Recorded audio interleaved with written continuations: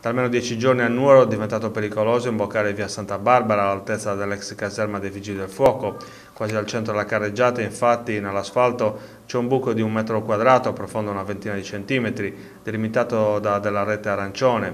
Un ostacolo che si presenta all'improvviso agli automobilisti che arrivino da Viale del Lavoro costeggiando l'ex sede dei pompieri.